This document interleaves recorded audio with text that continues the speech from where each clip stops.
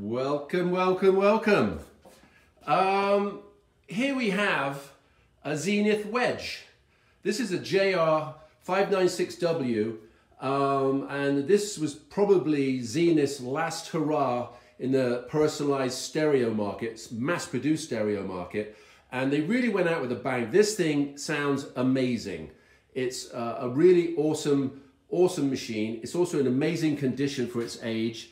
Uh, it also comes with that custom factory stand, which you don't see very often. They're rarer than the actual wedge in working condition. Um, the circuitry, whatever they did in this thing, it just was phenomenal because it punches a really, really good sound. It's really got good highs, deep bass, and it's, and it's controllable. Um, as you can see, you have all your regular balance, bass, and treble, but you also have these high and low filters uh, for each um, cross, you know, crossover, you know, whether it be the highs, tweeters, and, and the big bass sound you want. Um, it's a really, really awesome machine. It also, they put it together as a package with these Allegro speakers. These are the 3000s. So there's a 10 inch woofer and a three and a half inch horn tweeter in there and brilliance control, which messes around with the crossover caps.